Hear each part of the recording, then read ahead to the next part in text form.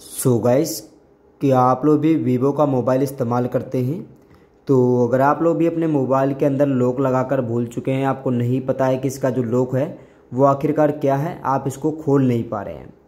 तो आज की इस वीडियो में आपको बताएँगे कि आप लोग अपने वीवो के मोबाइल में इस लॉक को बड़ी आसानी से खोल पाएँगे, अगर आप लोग भी वीवो का मोबाइल यूज़ करते हैं तो।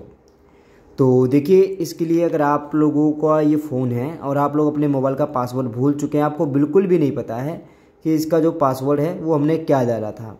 तो आज की इस वीडियो में आपको बताऊँगा कि आप लोग अपने इस पासवर्ड को किस तरीके से खोल सकते हैं। जैसा कि आप लोग यहाँ पर देख सकते हैं, पाँच बार इसको हम ज़्यादा ट्राई कर चुके हैं, इसलिए ये हमारा लॉक कर दिया गया है तीस सेकेंड के लिए। तो हमें यहाँ पर बीस सेकेंड तीस सेकेंड वेट करना होगा, इसके बाद ही हम नए पासवर्ड के लिए कोशिश कर सकते हैं। तो अगर आप लोग भी अपने पासवर्ड को भूल चुके हैं तो इसके लिए देखिए आपको करना क्या है। यहाँ पर ये दो चीज़ों से आप अपने लॉक को खोल सकते हैं। पहला, आप अपने फ़ोन को रिसेट करके देखेंगे कि ये आपका होगा या नहीं होगा। बस के लिए आपको पावर बटन ऑफ़ पहले आपको स्विच ऑफ़ कर लेना है। स्विच ऑफ़ करने के बाद, उसके बाद आपको पावर ऑफ़र बटन को दबाकर प्रेस करना। अगर आपका फ़ोन लॉक का लॉक टूट जाता है तो बहुत अच्छी बात है। अगर नहीं टूटता है तो इसके लिए आपको डाटा केबल की ज़रूरत पड़ने वाली है, जिससे आपका लॉक टूटेगा। अदरवाइज़ आपके पास कोई ऑप्शन नहीं है, जिससे आप इस लॉक को तोड़ पाएँ। तो देखिए, यहाँ पर इसके लिए आपको करना क्या है? सबसे पहले अगर आप इसका पासवर्ड भूल चुके हैं तो इसके लिए सबसे पहले आप लोगों को कोशिश करनी है कि जो आपने इसमें जी मेल आई डाल रखी है, वो आपको पता हो। अगर नहीं पता है, तब भी इसमें मुश्किल होगा थोड़ा इसको ढूँढने में।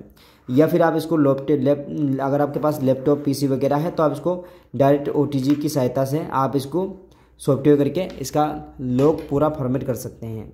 तब भी ये अनलॉक हो जाएगा, ठीक है? अदरवाइज़ ये भी चीज़ आपके पास नहीं है तो आपके पास एक तरीका है, या दूसरा मोबाइल हो कोई, या फिर ये भी हो सकता है लैपटॉप हो। लैपटॉप के अंदर जो इस फ़ोन के अंदर जी मेल आपने डाल रखी है, वो जी मेल अपने लैपटॉप में डालिए। लैपटॉप में डालने के बाद फाइंड माई डिवाइस पर जाइए और इस फ़ोन को पूरा रिसेट कर दीजिए। इससे जो इसका लॉक है, वो टूट जाएगा और यहाँ पर आप इसको अनलॉक कर पाएँगे।